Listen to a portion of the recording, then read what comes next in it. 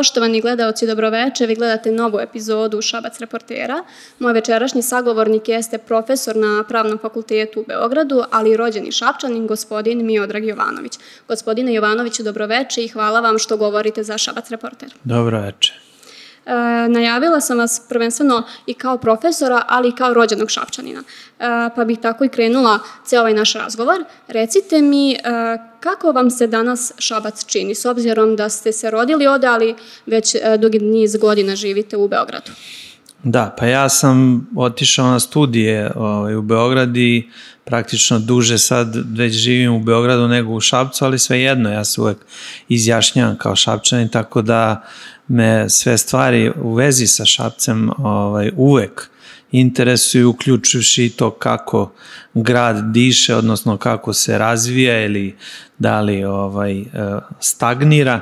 I ono što su moji doživljaji kada dolazim ovde, ali su istovremeno i neka, neke informacije i saznanja koje dobijam uh, sa strane, uh, jeste da zaista je primetno da, da Šabac negde nazaduje u, u, u ovom prethodnom periodu, iako paradoksalno eto, ima naprednjačku vlast.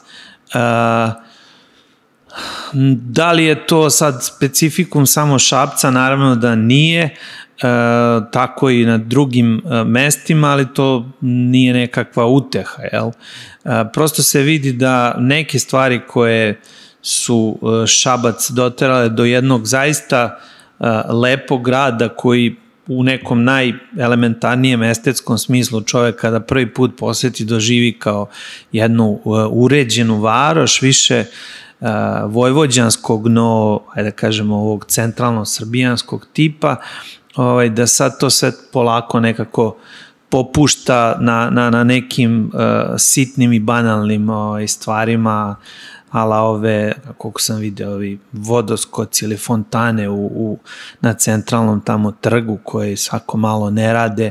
Tako, neke stvari koje su zapravo, koje pokazuju da li se neko stara o svojoj kući kao dobar domaćin ili ne, ili seća se prve godine kada je vlast preuzeta da je tog leta, seća se mog šoka kad sam video uh, gradski park koji je bio zarastao, ne znam, u neku travuljaču od prilike metar uh, visoko. Tako, te neke sitne stvari koje uh, čovek kada je emotivno vezan za mesto, onda mu odmah upadnu u oko i uh, prosto to, to je neki doživljaj uh, dakle, šapca sa strane. Dakle, uprko s obavezama koje imate sa strane, vi opet uh, obratite pažnju na vaš rodni grad i na ono kako Naravno, se on menja. uvek. Pa mislim ja održavam i kontakt i evo i ljudi koji su politički angažovani uh, svako malo uh, se sretnemo ili porazgovaramo o, o stvarima koje se tiču naravno ne samo Šapca, ali delom i Šapca i situacije u Šapcu, tako da uh, evo u osnovi sam obavešten kako stvari stoje ovde. E, vi ste e, naravno i govornik na desetom protestu, odnosno bili ste govornik na desetom protestu u Šapcu, ali ste govornik bili i u Beogradu. Recite mi sad, osvrnula bi se i na same i proteste. Kako vam deluje taj pritisak, uopšteno ti protesti? Da li imaju nekog efekta i s obzirom da traju već četiri meseca? Pa desilo se sa protestima ono što je se moglo očekivati, a to je da u situaciji u kojoj uh, je se prosto ušlo u neki letnji period da uh, opadne broj ljudi prevashodno iz tih razloga, ali onda naravno iz razloga zamora materijala i zamora uh, prosto uh, jednom istom formom uh, I to prevashodno, rekao bih, zato što mi imamo već sad dugu tradiciju tih nedelotvornih šetnji, nedelotvornih e, okupljanja. E, oni koji smatraju da e, je to dokaz da protesti nemaju nikakvog efekta, mislim da e, greše, postoje stvari koje su evidentno na koje su evidentno ovi protesti uh, uticali i to dramatično uticali i od kojih je recimo čini mi se najvažniji to taj to što je Vučić odustao, odnosno ne znam da li je odustao, ali u svakom slučaju nije realizovao kada je planirao tu ideju sa nekakvim pokretom za na, narod, državu i tako dalje, kako god da ga izgovorim, ne zvuči mi dobro, a, ili bar ne zvuči kako bi trebalo bilo šta da se zove u nekakvom demokratskom društvu. To je bila ideja, dakle, da se a, Srpska napredna stranka, koja zapravo suštinski nije stranka, koja po, po obeležima ima više liči na sve drugo, na nekakvo nekada vuče na sektu, nekada vuče na interesnu grupaciju, ali u svakom slučaju nije politička partija jer sami, sami lideri te organizacije zapravo je tako ne tretiraju, jer da je tretiraju ona bi se takmičila pod tim imenom na izborima, a vi znate da na prethodnim izborima nigde nije ni stajalo ime Srpske napredne stranke. Dakle, to je bila ideja da se prešminka i, i, i ovaj, da neko novo pakovanje jednom, jednoj političkoj organizaciji koja očigledno uh, nema, nema ovaj, neku dalju jel, budućnost i zbog toga uh, je bilo bitno da ovi protesti bar u tom uh, segmentu uspeju. Oni su i u drugim nekim elementima postigli efekte, mislim da da je izašla jedna generacija a, mlađih političara, ovih koji organizuju proteste, koji možda nisu vrlo često nosioci političkih, nosioci ovih glavnih funkcija u političkim partijama, ali su sada prepoznatljivi kod, kod građana i mislim da je to dobro. I e, pored toga čini mi se da, da su ipak nekakvi pomaci postavljeni, odnosno učinjeni i, i u uh, radio televiziji Srbije, odnosno javnom servisu koji je bar koliko toliko pratio ovaj, te proteste, što uz efekat ajde nastupa u Skupštini je dalo šansu uh, opoziciji uh, da se zapravo prikaže građanima u celoj Srbiji, da cela Srbija zapravo uh, na neki način učestvuje u tome. I najzad ovaj poslednji deo gde, su, gde je taj protest decentralizovan, gde je, gde je se proširio kapilarno po drugim mestima, je bio važan za razbijanje straha, jer strah je ono na čemu u, u osnovi počiva ovaj režim. Evo, a da li, so, a, da li ovo što se dešava na ulicama a, mora da na kraju ima neku političku završnicu? Evo, to smo možda čekali da dođe u septembru. Naravno da mora da ima političku završnicu ja neprestano govorim o tome da je ta dilema koju uh, nameću uh, nameće sam režim i naravno mediji koji su uh, pod njihovom kontrolom uh, oko te tobožnje dileme da su ovo građanski ili politički protest. Naravno da su protesti u osnovi politički kada uh, ispostavljaju političke zahteve. I u njima učestvuju građani kao politički subjekti i I to je to.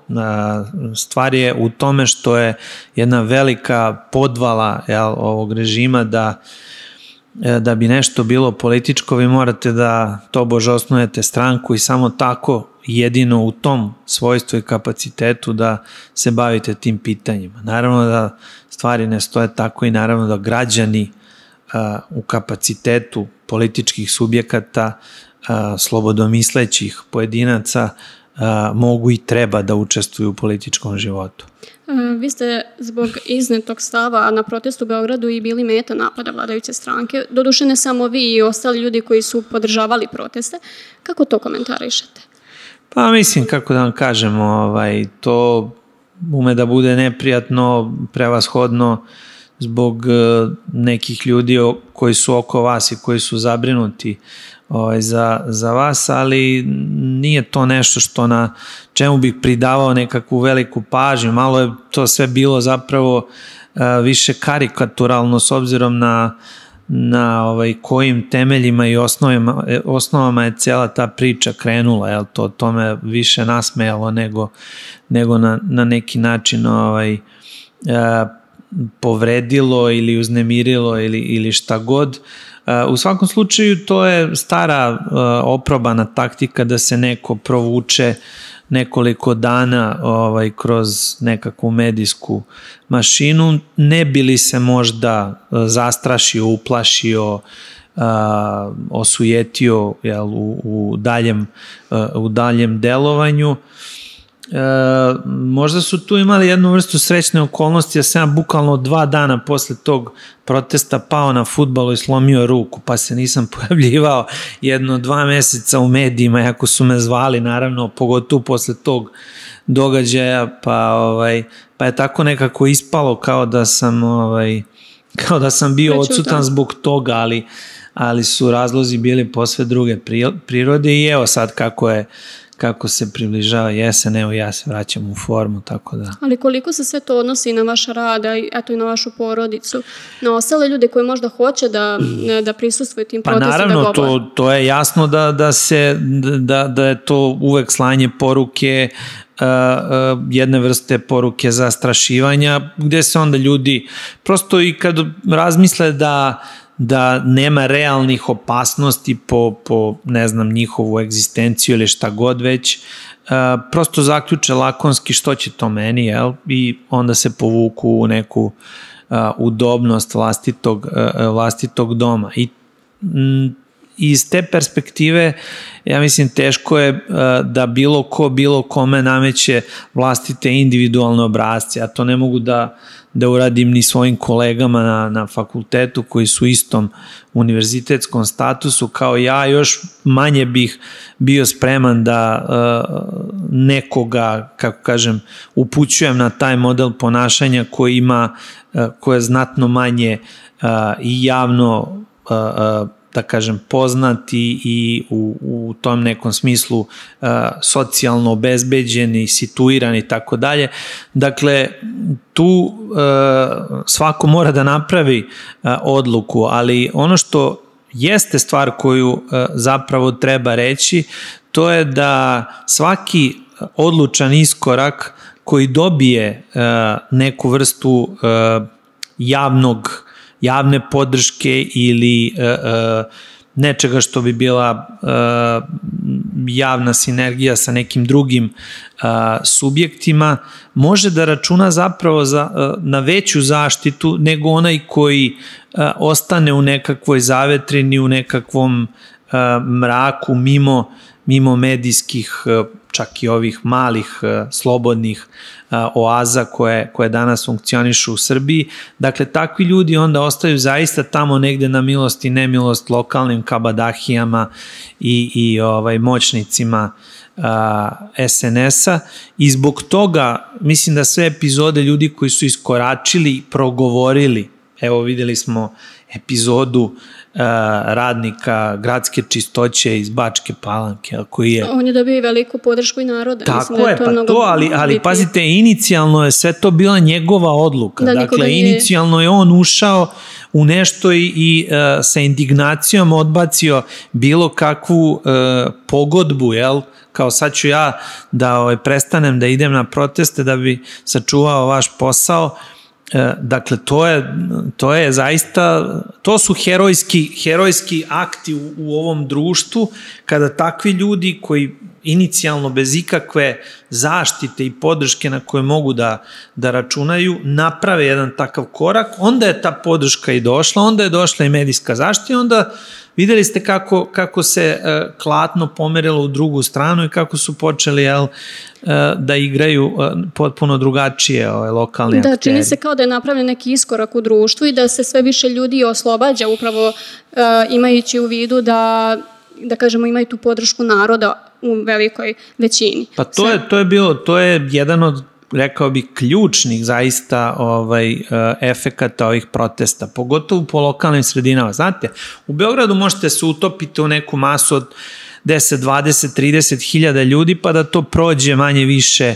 neopaženo, ali kada izađete u jednom malom gradu eh, među 50, 100, 200 ljudi koji će da prošetaju, jel, to onda ima nekakvu težinu i e, takvi akti znači jasno šalju poruku da e, e, tog straha više nema. vi ste i predsjednik upravnog odbora u Centru za pravosudna istraživanja. Koliko su takve organizacije od izuzetnog značaja za naše društvo? Pa sad, da baš pričamo o sebi kao o važnoj organizacije, možda bi to preostavio nekom drugom. Mi jesmo jedna specifična i nesvakidašnja organizacija koja okuplja pravnike različitih profila, dakle sudije, tužioce, advokate i univerzitetske profesore i u tom smislu smo jedinstvena organizacija, ali ono što je možda najvažnije jeste što u prethodnom nekom periodu CEPRIS je uspeo da se e, profiliše zapravo kao organizacija koja e, ne kalkuliše i, i ne pravi e, nekakve trule kompromise onda kada smatra da, da je to protivno nekakvim našim osnivačkim ciljevima, oni jesu borba za pravosuđe, odnosno za istinski nezavisno sudstvo i samostalno e, tužilaštvo u državi Srbiji. Mislim da u tom smislu e, članovi Ceprisa koji su e, prepoznati inače kao, kao ugledni stručnjaci i, i ovaj, profesionalci u svom poslu su na neki način izgradili taj kredibilitet Ceprisa. Vi ste naravno i da kažemo i pored toga i sudja Majić, vaš kolega takođe u Ceprisu i nekoliko puta ste vi, ali i on bili na meti, da kažemo, napada medija zbog iznetih, da kažemo, komentara stručne prirode. Koliko takvi komentari utiču uopšte na rad ove organizacije? Mnogo je opasniji su naravno napadi e, na naše članove koji su e, u pravosuđu aktivni, e, aktivni predstavnici pravosuđa, uglavnom su naravno uglavnom je meta tih napada bio ovaj, sudija Miodrag Majić, ali videli smo i drugi i drugi akteri u, u pravosuđu su često uh, prozivani i naravno to je to su stvari koje su nezamislive u, u, u normalnom uh, demokratskom društvu, u normalnoj ustavnoj uh, demokratiji. Uh, jedna od stvari koja je zapravo zastrašujuće u vezi sa onim što će biti posledice ovog režima jednog dana kada padne, a taj dan će svakako dogoditi, nadam se ranije, pre nego kasnije. Dakle, to su efekti da vi imate čitavu jednu generaciju koja je odrastala sa idejom da ono što pred sobom ima E, da tretira kao nešto što je normalno, kao nešto što je neka vrsta e, uzusa, odnosno nekakve mere normalnosti.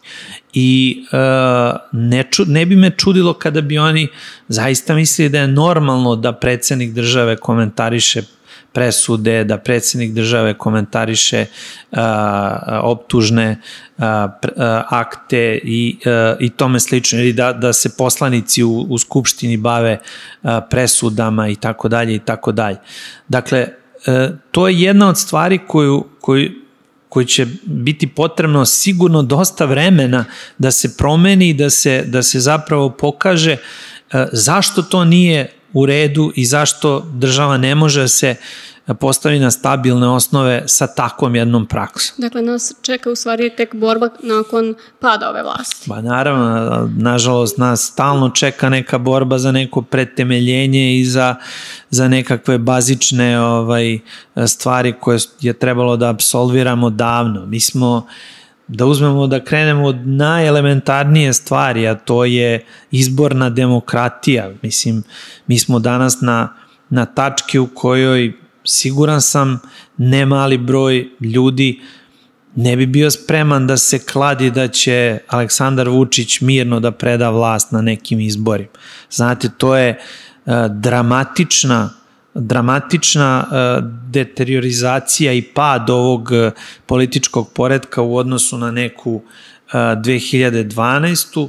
kada je neki broj ljudi verovao da eto, da je Srbija došla do tačke da nije nekakav problem da vlast preuzme i ta srpska napredna stranka, jer bože moj, eto, za četiri godine će se možda uh, oni koji su na taj način kažnjeni uh, zapravo konsolidovati, ponuditi nešto bolje i vratiti se na vlast. Uh, tako da ja imam razumevanje za one koji su uh, tako optimistično gledali na srpsku politiku i srpsko političko uređenje 2012. Druga je stvar što mi iz ove naknadne perspektive vidimo da je to bila jedna tragična greška koja nas je sad otkotrljala unazad na početak 90-ih, dakle na, na vreme kada smo zapravo pravili prve korake u, u obnovi demokratije. Nažalost, a, nas to ponovo čeka.